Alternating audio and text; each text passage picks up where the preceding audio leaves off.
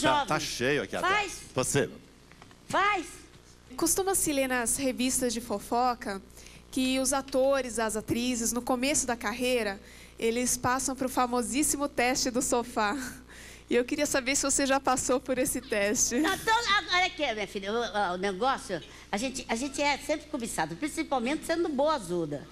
Você tem uma boa bunda, você dá, você, você, você- dá um bocadinho de... que a gente tem que fazer charme pro cara que está comandando. A gente sempre faz um charme, mas eu sei que eu também fiz. Charme. Um, um me convidou, um falou, eu arranjo o contato para você no Teatro Recreio, se você trepar comigo.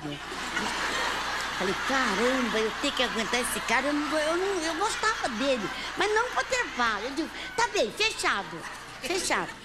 Aí ele foi arranjar. Arranjou, me deu notícia, eu fui lá, falei com ele, e ele, como é, como é, calma, cara, que eu tô- não, não fechei, cara. Mas a gente passa, mas a gente, a gente pode sair fora. E também pode dar uma vezinha, não custa nada. Mas caso se você recusasse, daí o contrato não ia ter Se, mais. se não te violentar, se não te violentar, se você não, se você não sentir, não sentir ah, segura, não vai, o cara, embroma ele. Você diz, ih, tô incomodada, eles não gostam. Eles não gostam de incômodo, eles não gostam. Eu gostaria de saber se você toparia um convite de posar nua para um nu artístico. Mas não tem nem dúvida, cara. Posar nua é só o dinheiro, se ele me oferecer.